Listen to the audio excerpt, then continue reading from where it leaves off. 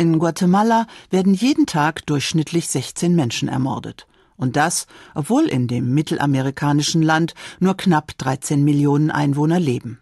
Die meisten Toten gehen auf das Konto der Maras. Als Maras bezeichnet man gewalttätige Jugendbanden, denen in Guatemala schätzungsweise 14.000 Jugendliche angehören.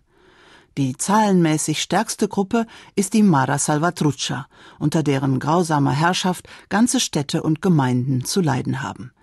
Die Kleinstadt Palencia, 30 Kilometer östlich von Guatemala Stadt gelegen, ist eine davon. Und die heute 29-jährige Sandra Lopez ist eines der vielen Opfer der Gruppe. Sandra hat Andreas Böhm ihre tragische Familiengeschichte zu Protokoll gegeben, und der Schweizer Journalist hat daraus ein bewegendes Buch gemacht. Teuflische Schatten, zwei Frauen gegen die Mara Salvatrucha ist in der Ich-Form aus der Perspektive von Sandra Lopez geschrieben. Sprachlich hat Böhm die leicht gestellte, aber mit Vulgärausdrücken durchsetzte Diktion vieler einfacher Leute aus Guatemala genau getroffen. Sandras alleinerziehende Mutter schlug sich als Wäscherin durch, und im Alter von zwölf Jahren brach Sandra die Schule ab. Sie kam 1997 erstmals mit der Mara Salvatrucha in Kontakt, als sie den arbeitslosen Tino kennenlernte, von dem sie gerade 15 Jahre alt schwanger wurde. Nach und nach erfuhr Sandra, was es mit der Clique auf sich hatte, für die Tino mit Drogen dealte. Wer zu einem Marrero wurde, der musste sich vorbehaltlos der Clique verschreiben. Sie hatte für ihn über allem anderen zu stehen, selbst über dem eigenen Leben oder der eigenen Familie.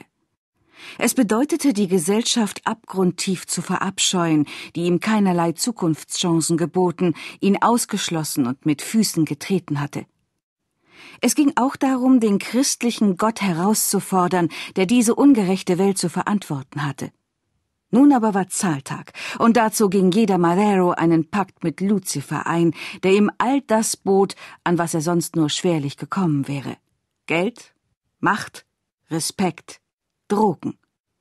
Das Mittel dazu hieß rohe Gewalt bis hin zum kaltblütigen Mord. Sämtliche Geschäftsleute in Palencia entrichten wie vielerorts in Guatemala, ja in ganz Zentralamerika, Schutzgelder an eine Mara. Und niemand wagt es, gegen sie auszusagen, denn darauf steht der Tod. Von ihren Freundinnen oder Frauen erwarten die Mareros Unterwerfung. Tino hält Sandra wie eine Leibeigene. Er schlägt sie, verbietet ihr allein das Haus zu verlassen und vor allem versucht er, den Kontakt zu ihrer Mutter zu unterbinden. Denn die hat allen Drohungen zum Trotz der Mara Salvatrucha den Kampf angesagt.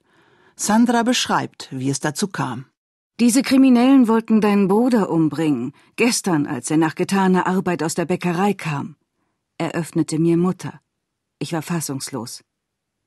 Diese Mareros verlangen von mir, dass ich einer von ihnen werde, aber verdammt, das will ich nicht, erklärte mir mein Bruder. Mutter war außer sich, sie hatte auch schon die Polizei eingeschaltet. Nach der missglückten Zwangsanwerbung von Sandras Bruder und der Bereitschaft der Mutter, mit der Staatsanwaltschaft zu kooperieren, gerät die gesamte Familie ins Fadenkreuz der Mara Salvatrucha und entrichtet einen hohen Blutzoll. Spannend wie in einem Krimi schildert das Buch von Andreas Böhm, wie die Familie den Mareros zu entkommen versucht und dabei von überforderten Behörden allein gelassen wird. Teuflische Schatten ist ein wichtiges Buch, denn es zeigt, wie das Leben für die Bürger zur Hölle wird, wenn es dem organisierten Verbrechen gelingt, den Staatsorganen ihre Ordnungsfunktionen streitig zu machen und faktisch die Macht zu übernehmen. Andreas Böhm, Teuflische Schatten, zwei Frauen gegen die Mara Salvatrucha, Horlemann Verlag, Berlin 2011, 297 Seiten, 19,90 Euro.